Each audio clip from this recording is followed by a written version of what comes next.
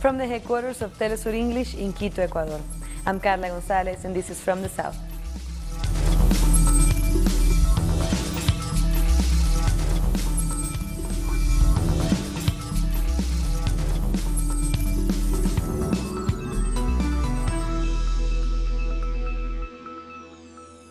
U.S. President Donald Trump continues to face outrage over his policy of separating immigrant children from their parents at the U.S.-Mexico border.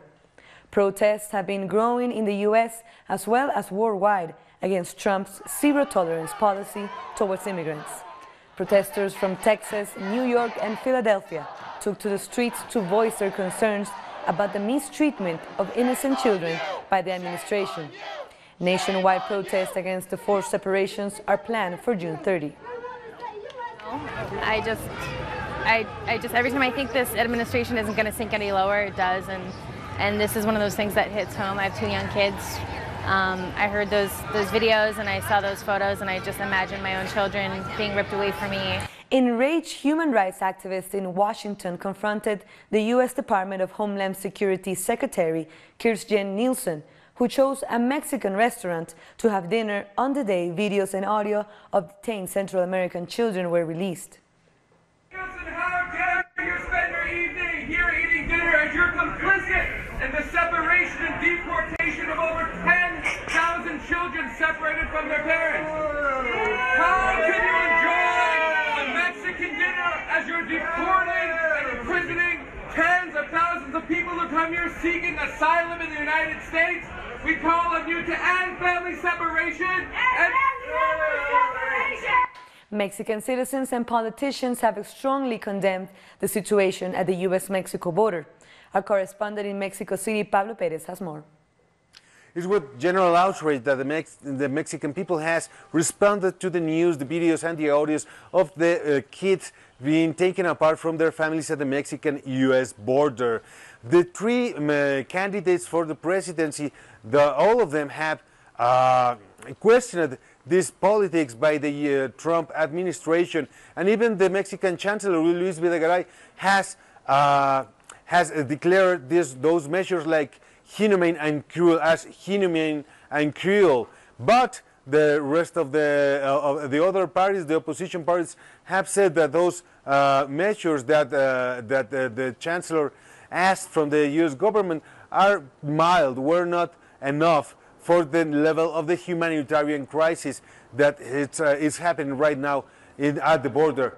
Pablo Perez from Mexico City. And as he talked about the Mexican Foreign Minister Luis Videgaray, he also issued a statement saying he considers the events unfolding at the border utterly cruel and inhumane.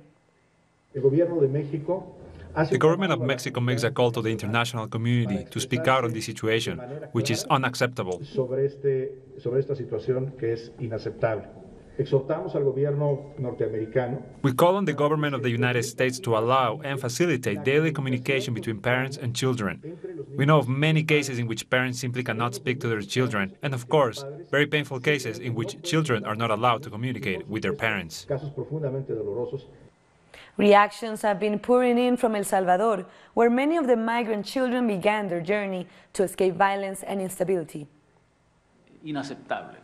It's unacceptable because it hurts, not just the people involved through a violent aggression, but harms human dignity, the most essential thing we have. It's an action by the U.S. government and Donald Trump that hurts everyone's dignity. It's a crime against humanity that violates the respect of the integrity of the families. We spoke with Dr. Evelyn Encalada Grez, a migrant rights activist, about her reaction on the recently released video and audio of the separated children. Overall, I just saw um, this as state violence that has had many faces throughout many decades throughout um, the region um, with our relationship to um, the United States and the way that also the problems that people are fleeing from children their mothers and their fathers from Central America, and as far as also Brazil, um, are a lot of them are U.S.-made problems with the United States interfering in Latin America for for several decades and aborting many social reforms um, that people are just having to escape from right now. The United States officially withdrew from the United Nations Human Rights Council on Tuesday accusing the council of being biased, hypocritical, and self-serving. That exit marks the latest U.S. departure from multinational organizations and treaties.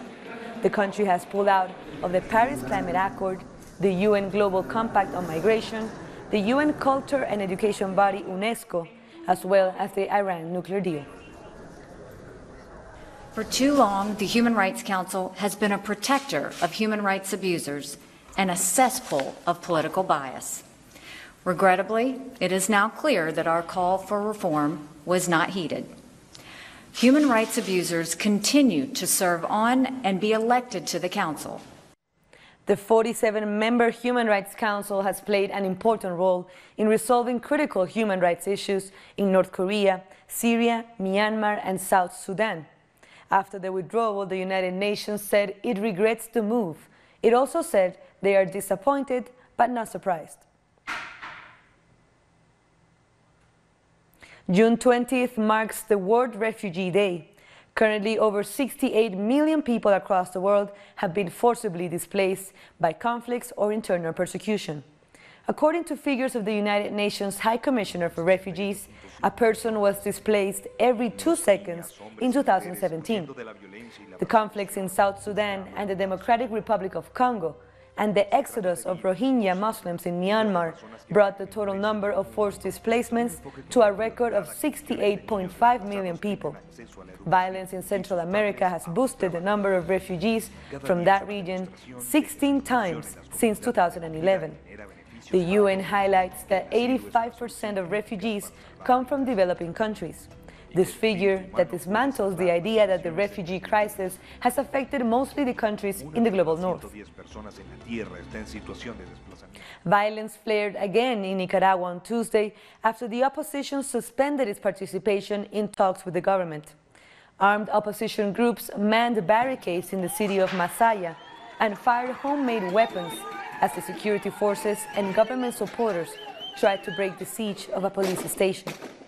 Bursts of gunfire resounded in three central neighborhoods, and there were reports of several people killed. The national dialogue remains suspended as opposition groups demand that President Daniel Ortega invites the United Nations High Commissioner for Human Rights and the European Union to oversee the talks. Official numbers have been released by the Truth, Justice and Peace Commission detailing 173 deaths, which have occurred since the beginning of the anti-government protests on April 18. The Truth, Justice and Peace Commission condemned the violence as different sectors of society urged the parties to get back to the dialogue table. We, as a student movement, are convinced that the dialogue is the only way towards peace. Yesterday, we could not advance, it is unfortunately. All Nicaraguans are very united so that we can find a solution. Nicaraguans are very concerned. No one feels protected in their own home. Nicaragua's Minister for Domestic Policies has been talking to Democracy Now! about the unprecedented opposition violence in his country and the grave bias in international reporting about the situation. Nicaragua is a polarized society, and there's been violence in the last two months on both sides. And what we've seen lately is a, is a wave of violence never seen before in Nicaragua, of kidnappings, of state institutions destroyed, mayor's offices burned down, torture, intimidation, persecution. And uh, there's been a tremendous slant in the news because this is a media war also, and it's a social media war. It's straight out of Gene Sharp's handbook of how to destabilize governments that's been used several times. And I'm not the only one saying this. Gene Sharp's handbook has been recommended by leaders of this movement. You can find that on the um, on the on the internet. And uh, false news, black propaganda is part of the game. And there's no balance in this. It's all one-sided. So the we also spoke with U.S. journalist Max Blumenthal, who recently published an in-depth look at U.S. interference in Nicaragua, particularly regarding a recent meeting between Nicaraguan student opposition leaders and right-wing neoconservative figures in Washington. Well, four uh, student leaders from Managua were brought to Washington by Freedom House, which is actually an arm of the U.S. government that traditionally aligns with neoconservative interests. It supported uh, war and regime change in Iran, for example, and around the world has advanced regime change. And it bankrolled these students' trip uh, to Washington to meet with the head of USAID, which is an arm of the State Department, which has committed millions of dollars into funding regime change against socialist oriented governments, including the government of Nicaragua and Venezuela, as well as Cuba. Uh, they also met with three of the most right wing, hawkish uh, members of Congress Ileana Ros-Lehtinen in the House, and Marco Rubio and Ted Cruz in the Senate, and posed for photographs. And this really revealed uh, what the agenda of these students is and how closely controlled it is by what. We'll take a short break now, but join us again after this video from our multimedia team.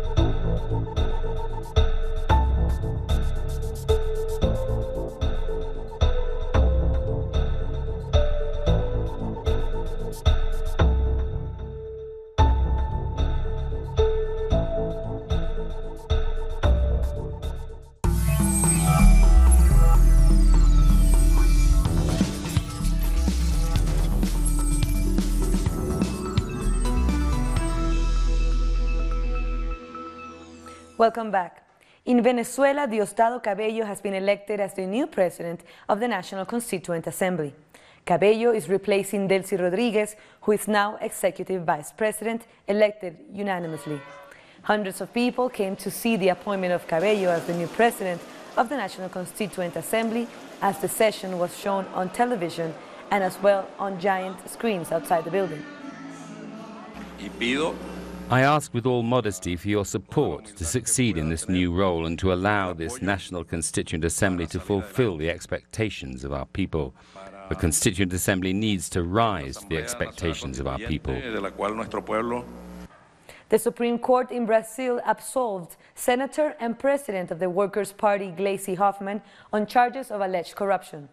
The five Supreme Court members unanimously dismissed the accusations that linked Hoffmann to the scandals regarding the state-owned oil company Petrobras. Prosecutors accused Hoffmann and her husband of receiving around $568,000 for a campaign slush fund. The head of the Workers' Party always defended her innocence and said the process was part of a political persecution. É fundamental trazer luz Colombia's president-elect Ivan Duque said that he will demand the National Liberation Army, or ELN, to cease all of its activities to continue with the peace talks. The upcoming president also said he wants the peace accord signed with the FARC in 2016 to be modified, but he promised he will not erase the agreement.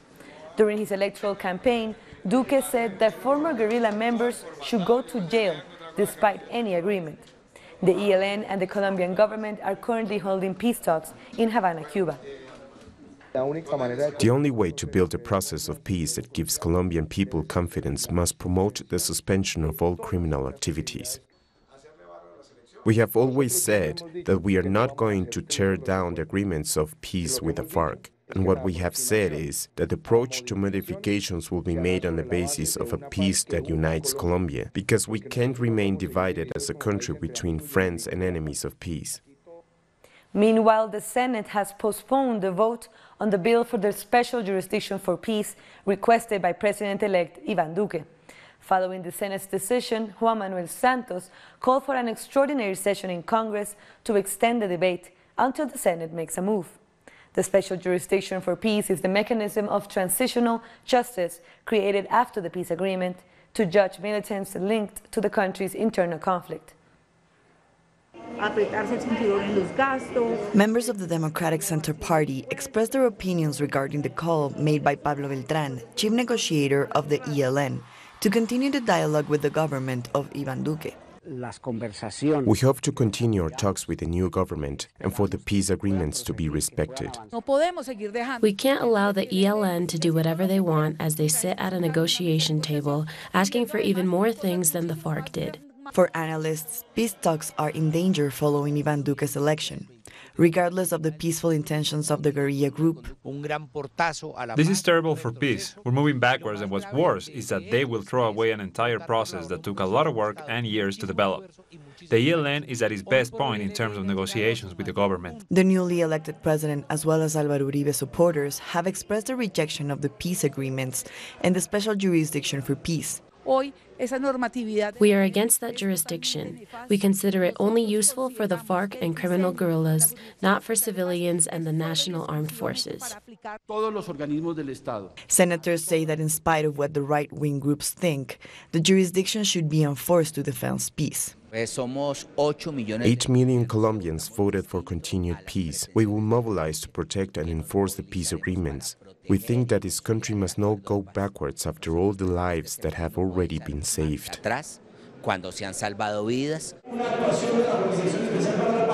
Meanwhile, President Juan Manuel Santos stated that if the special jurisdiction for peace is not approved on Wednesday, he will call for an extraordinary session of Congress. Public outrage is growing against Mauricio Macri's agreement with the International Monetary Fund. The agreed measures are due to start this week. The agreement with the IMF made the social protests even worse. People arrived outside the central bank to express their rejection. They even burned flags of the United States empire. The increase of neoliberal policies applied by the government creates each time more hunger and misery among the people. There is total rejection for the agreement signed with the IMF. The adjustment policies bring hunger to the people. We know that what's coming next is going to be terrible. This only means misery, hunger, the end of production, national industry, and work. We lived in the 90s and now it's going to be worse. The $50 billion credit granted by the IMF comes during a serious economic crisis in the country and takes effect this week with the first advance of $15 billion. The agreement will follow a program that demands deep structural adjustments. The IMF is working along with the government to apply these kinds of policies. We are now under the yoke of the international economic system and we are starting a process of the economic destruction of each country in the region. Economic uncertainty is having consequences in different provinces. Many are already bankrupt and can't pay workers' salaries. Our people are living in misery. Workers are poor now. Salaries are not enough to face inflation, and unions are being abolished. We must keep fighting because we can't ask the government to reconsider things. The government is creating poverty. We can only keep on fighting. The IMF deals seem to be taking Argentina back to a crisis just like the one of 2001. People are not happy and workers are preparing a general strike for next Monday, the 25th of June. They hope it will take its toll on Mauricio Macri's government. In Paraguay, Jejitimiri indigenous people protested on Tuesday against an eviction from their lands located in the western department of Canindeyú. Demonstrators gathered outside of Congress in the capital city of Asunción. They wore chains around their necks to symbolize the oppression they say the community is suffering. The, the Jejitimiri were expelled from their lands, where they have been living for decades, by judicial orders. The Vatican envoys have finished their mission in Chile to investigate sexual abuse cases linked to the church. At their last press conference, Archbishop Charles Scicluna and Monsignor Jordi Bertomeu announced the creation of a reporting system to receive new accusations. They also made a call for justice to be served to the victims. During their week in Chile, Chicluna and Bertomeu met with victims of sexual abuse and with the Catholic community of Osorno, the most affected diocese by the sexual abuse scandals. The invitation to acknowledge and admit the complete truth with all of its painful repercussions and consequences is the starting point for an authentic healing process for the victim and also for the author of the abuse. In Panama, a bill in the National Assembly proposed by the public service authorities imposes a tax on users of solar panels. For economists and other analysts, this measure seeks to protect the interests of the companies that maintain the energy monopoly. The proposal under discussion appears to be catering to the interests of large corporations and companies that maintain this monopoly, according to some experts. Meanwhile, the government continues to permit the installation of dirty energy projects such as a thermoelectric plant in the sector of La Chorrera, which is being urgently built as a new source of energy. The government is only answering to the interests of the transnational groups that control the energy sector in the Panamanian market. A tax on solar panel users only blocks Panama signing off and upholding a worldwide resolution to promote sustainable development.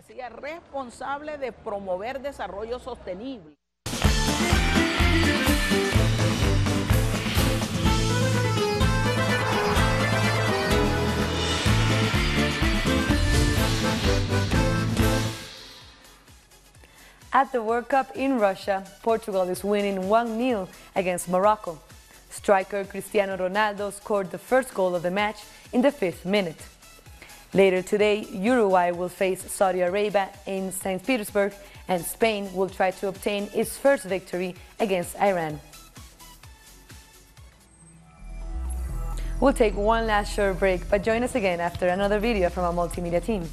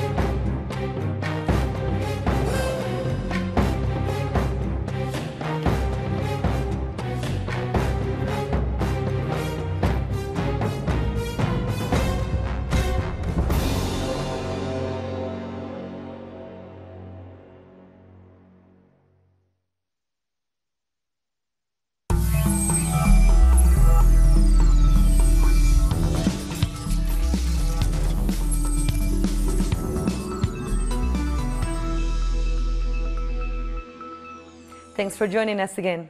A French activism group piled up 348 life jackets for the same number of senators taking part in the immigration and asylum reform debated in the French Senate.